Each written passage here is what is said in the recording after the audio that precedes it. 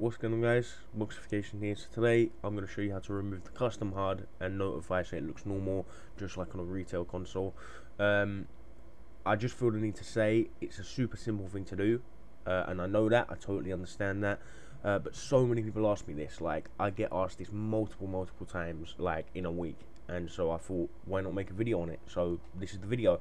So uh, what I'm talking about when I say the custom HUD and notify I mean uh, when you press the guide button you've got you see like how it's blue. This is XP Online so you've got like the blue HUD um, it's yeah it's like all of this stuff uh, you see how it's blue there. And then also when when someone sends you a friend request or some, someone sends you a message you get like the thing that comes up the notify the X notify and so that's blue as well. And so it's the same on pretty much any other server uh, so yeah.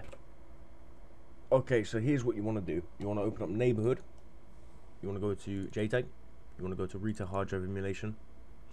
You want to go to xponline.ini if you're on XP Online. If you're on Rebellion it will be in their INI if you're on Ninja it will be in their INI if you're on uh, Teapot whatever server you're on it will be in their INI or it should be it depends obviously some servers might not be as good and they might not have the ability to turn it on and off. Maybe you you, you might just want to request to them can you put this in the INI so you can disable it or enable it?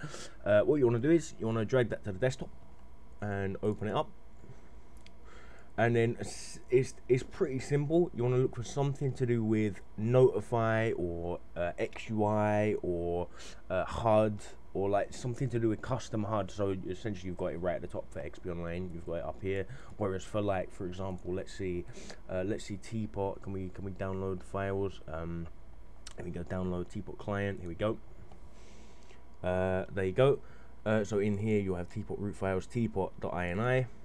So in here it will be there you go, custom UI. Um, yeah, I think that's it. Just custom UI. It looks like they don't have any other things. Uh, yeah, custom UI there so you set that to false because true meaning custom UI on enabled. Uh, so we'll exit out of that exit out of that. Same with um, Rebellion. They, they'll have it as well so you can download it there. Uh, Rebellion plugin and then I'm sure that they'll have like a what, what have they got in here? Yeah Rebellion INI here we go. Uh, you'll have like uh, let's see let's see if we can find it. Um, this will be it. Here we go. Look you'll see you see here it says enables or disables the Rebellion Live UI. So you can set that to, uh, so one is enabled and then zero is off, uh, as it says up here. There you go. Uh, so let's go back to the uh, XP Online INI. So here we go.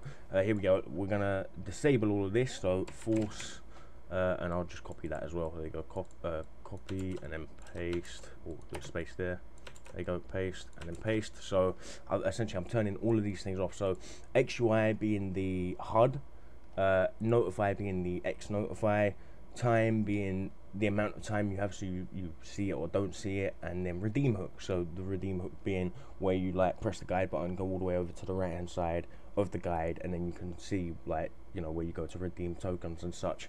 Uh, so yeah. So now I'm going to save this. So file save. Exit and then stick this back on the root of the hard drive. And so when you reboot your console you'll see uh, yeah you, you'll see the difference. I'm to reboot it now and uh, yeah I'm going to you know I'll show you on the console now. Okay here we go. So console's coming back on. It shouldn't it shouldn't take too long. I'm just to turn my controller on now so let me do that really quick. So yeah as you can see Xbox X signed in um, it, it was totally normal. The you know the X notify was totally totally fresh. More X notifiers coming up. Gonna press the guide button.